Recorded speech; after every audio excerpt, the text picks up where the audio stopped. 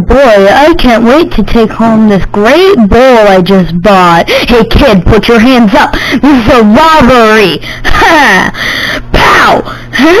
Let's see what the spoils are.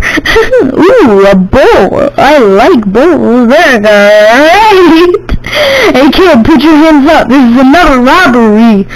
Oh, and what do you have that was different from me? A bomb gun?